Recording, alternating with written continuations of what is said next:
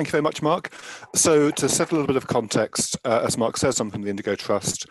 We're a fairly small funder. We normally give out about 1.25 million US dollars uh, in grants a year, though, as Mark says, last week was somewhat exceptional. We gave out uh, 250% of our annual budget as an immediate response to COVID-19. In this case, though, I'm going to be talking about some of the work that we've historically funded, which relates to transparency and accountability. Now, when I started the organization two and a half years ago, we've been funding transparency and accountability initiatives in sub-Saharan Africa for about seven years. And that was a really good opportunity, uh, fresh pair of eyes coming in to review what we had done and to try and get a sense of what had the most impact, what had been successful, what hadn't been successful. And so myself and the team spent about six months going over everything that we'd funded and also doing much wider reading, looking at peer-reviewed literature, grey literature, to get a better sense of actually what stood a chance of working. And the fairly uncomfortable truth was that actually many of the things we'd funded really didn't have an impact at all, or they may have had an impact and it was very difficult to demonstrate that it had been the case. So either there were a whole host of other factors coming into play, or that the scale of our funding was simply too small to be obvious as to whether it made a difference or not. There was one area, however, that really stood out to us as being potentially hugely significant, and that was legal information institutes. Now, what do they do, you may ask? They do something that to many of us is incredibly nerdy and unsexy and desperately unfashionable, and that is that they make legal information freely available online. And by legal information, we're talking specifically around case law, laws, legislation, bylaws, etc. You might think, well, who's going to use this stuff? Surely it's just lawyers who are already rich, and therefore you're basically helping to support rich people. Now, we could tell from the usage figures of the sites, many of these have sites have usage numbers in the hundreds of thousands of unique users a month, that it simply couldn't be the case that these were just being used by rich lawyers. And we had a fair chunk of anecdotal evidence to suggest that there were much wider societal benefits for funding this kind of work. So we give a proper evidence base to our, our hypothesis, our hunch, if you like. We commissioned mySociety, who then carried out a piece of qual and quant research across 14 countries in sub-Saharan Africa with really detailed uh, face-to-face interviews in three, in Ghana, Uganda, and South Africa. And the overwhelming response, or sorry, overwhelming conclusion from that research was that these sites have a huge impact. That is because they make the law freely available to those who would not otherwise be able to access it because they can't pay 5,000 US dollars a month, a year to access a commercial legal service understandably, the people who tended to be the ones who couldn't afford those sums of money were the ones who were doing not competition law or corporate takeover law, they were the ones who were working on human rights. They were the ones who were representing litigants from poor communities. They were the ones doing pro bono law. And it was very clear that this area had a significant impact. And in some cases, such as in Uganda, it's fundamentally a pillar of the judicial system. You have judges who rely on it to be able to access case law. It's crucial. And yet, it is, as I say, sexy, desperately unfashionable, and few people get it in inverted commas. So, with our relatively limited resources, we made the decision to say this will become our primary focus in terms of funding transparency and accountability in sub-Saharan Africa. Uh, and to that end, we've set up a separate fund for African LII, which they're using to support LIIs across the continent, as well as giving funding to them directly that's the kind of background. I've probably talked for too long. I'm now going to hand over to Neil, who is going to talk about the much more interesting tech uh, side of things, and particularly how machine learning and a variety of tools can be used to make these services even better than they are already.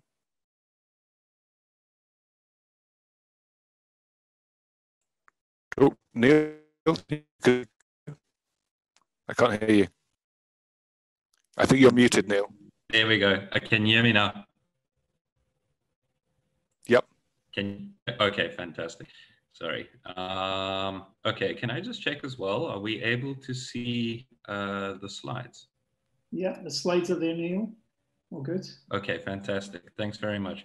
Um, and thank you, Paul, for, for setting up that background. And thank you. I'm very excited to, to be able to share some of our experience in, in doing some more programmatic analysis of the records that we have.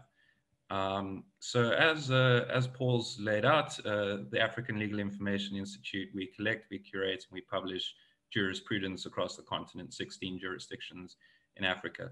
And that's using a model that has been around for quite a while as part of the global free access to law movement. Obviously, there are legal uh, information institutes all around the world. And we know that this model works for getting laws online, getting them accessible in areas where uh, it, it, might have otherwise been impossible for people to find these documents.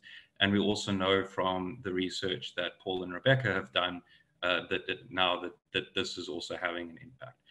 Um, what African LII started looking towards in 2018 and thereafter is how can we now use the records that we have in order to have more targeted collection, firstly, of the documents that we're collecting, and then also more targeted research for the end user on the other side to be able to find the documents that they're looking for on the one hand. And then the second area where we've started working a lot is uh, in, in trying to engage directly with civic society uh, with civil society and with people who use this information and seeing what their needs are and how we can support them.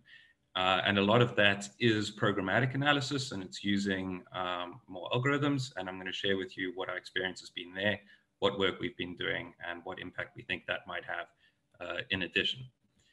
So the first thing I'm going to chat about then is in terms of targeted publishing efforts is how we're now starting to look at getting the documents online that are the most needed and that are the most important. So there is a trade-off, especially in law. The number of documents involved in legal processes is humongous. Uh, depending on how wide you cast the net, you can be talking hundreds of thousands or hundreds of millions of documents uh, with courts. Um, and a lot of them are paper-based or they're uh, in basements in universities where they have to go and be scanned. Um, and getting hold of resources, uh, getting hold of documents is, is resource intensive, and obviously we have limited resources.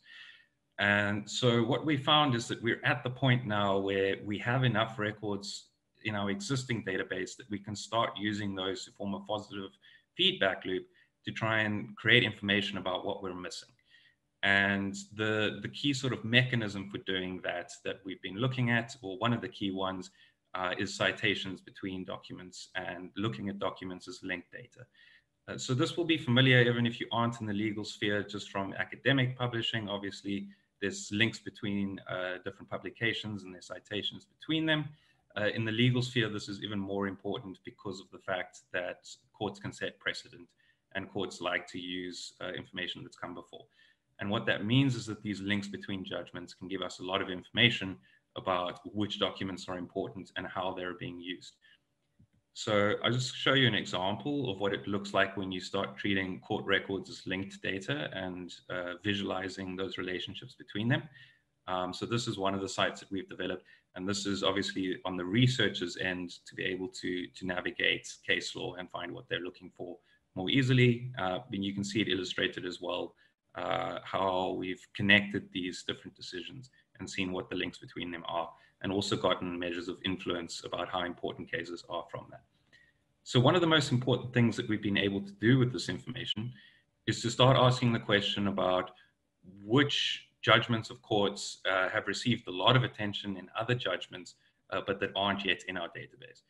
Um, and what I have here is some examples of records that we found uh, that are, have been cited very often and that have been very important in the development of the law in Africa um, that we can now go out and look for.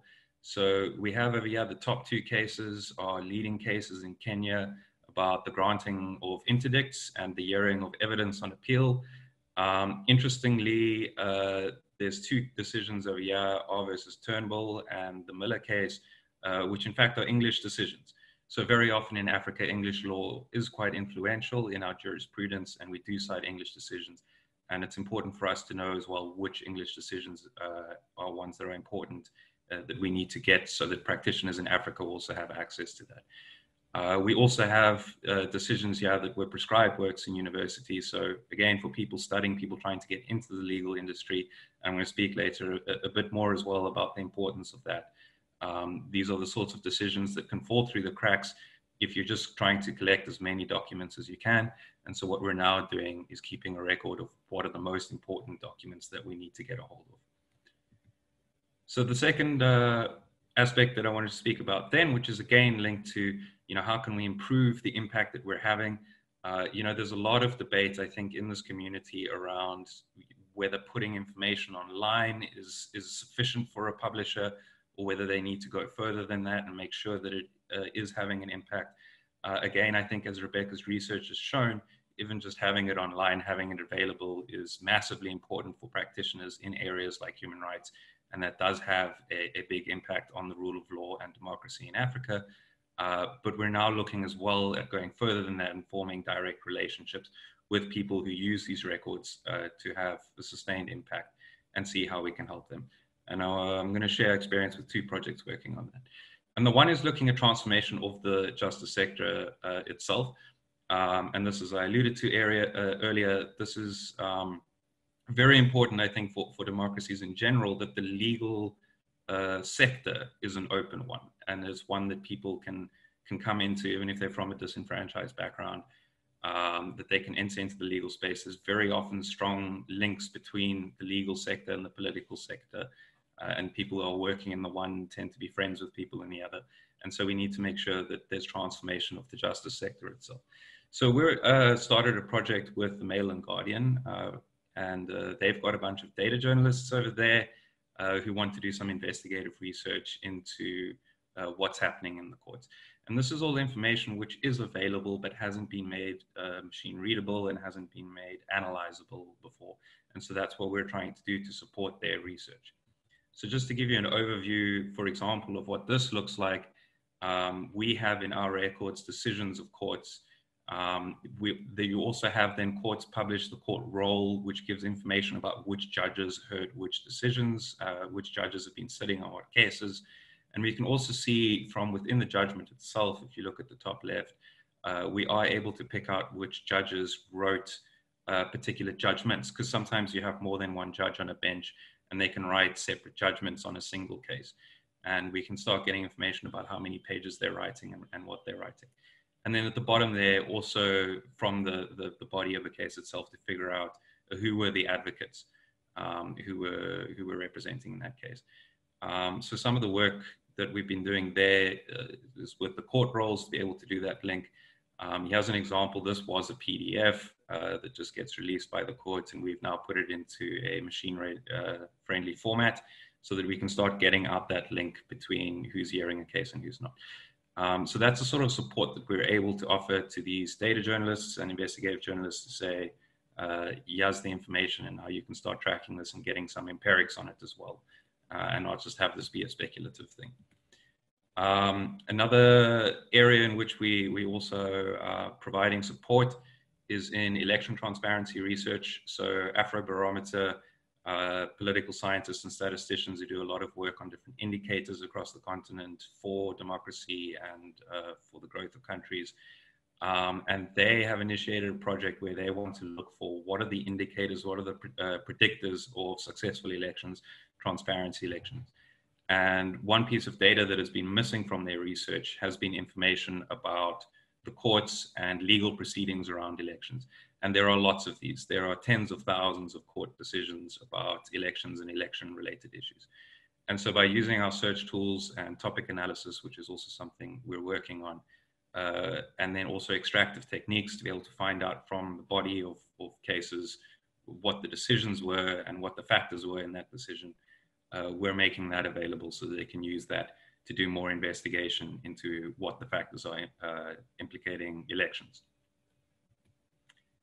Um, all of this work, uh, both in terms of uh, you know um, getting more records and getting the right records, helping people with research, and engaging directly with people in civil society, uh, is also supported by something else that we have developed, which is um, a classifier for different topics. so that we can know which documents are coming from cases that are about human rights, which ones are coming from cases that are about elections, or whatever the case might be. Um, so what that's involved is a lot of getting law students together to tag cases and to get them annotated uh, so that the computer can learn from that. And yeah, it's just an example um, of some of the topics that we looked at in a project that we did last year uh, about separating court decisions into different uh, human rights that, that, were affected. And we were able to use this to train an algorithm to then be able to extend that to the whole database. And so what that means is that when you're asking questions about uh, elections, for example, you can say uh, which cases involving elections were ones that impacted on the right to dignity, for example. Um, or when we're looking for cases that we're missing, uh, we're looking for important records that we need to add. We can say, what are the most cited decisions on the topic of human dignity, for example, that we don't have? And that allows us to further facet and narrow that down. So, in summary, uh, we believe that access to the law is a foundation of strong democracies and the rule of, of law. Um, the source records themselves, the actual law, uh, needs to be accessible. We found that without a free service, as Paul said, the commercial publishers outprice the majority of sole practitioners and people who aren't working in the commercial space. Um, and so that's our primary mandate. And the FALA model, the free access to law model, is a good model for doing that, um, which is what the research has shown. Uh, we're now focusing more on impact uh, to, to lead to improvements in the service offering for researchers, to improvements in how we're collecting records, and improvements for working with people uh, who directly use our, our records uh, uh, in order to, to do their projects in civil society. We're very eager for feedback, input, suggestions, and support always. Um, we want to know, especially because we are a foundational provider and we provide the source records, uh, we want to know how it's being used and what people need. Um, and so we're always looking for that uh, where people can assist and where people can give input. Thanks. I hope that was, uh, you could hear me well. And uh, I don't know, Paul, you want to I say just had a couple of comments, else? not holding the mic so close to my face, which might have made things bad before. Apologies. Um, just to, to, add on that point of support, which is an ask for any funders who might be on the call, this is an area, as I say, that is chronically underfunded. Some of these leads, uh, in fact, many of them, are operating on a few tens of thousands of dollars a year. Until recently in Sierra Leone, the LII was a wholly volunteer effort and yet they would have judges contacting them asking for copies of uh, cases because they were so vital to the judiciary. It is a field where, in the scheme of things, relatively small amounts of money can make a tremendous difference. And particularly as many funders are funding areas such as anti corruption and putting millions, if not tens of millions of dollars into that fight, I think it would be wise of them to consider the value of the underlying judicial system that needs to be functioning in order for that fight to be successful, in order for the tools and materials to be available for the people who are working on the area, particularly of anti corruption, but also on other areas, as, as Neil says, of human dignity, of rights, etc. So, although it's a difficult time for many organizations, particularly in the funding space, do please bear the boring unsexy. Well, I find it quite sexy, actually, I have to confess. Um, but unfashionable, shall I say, field of the free access to law as something for potential future funding.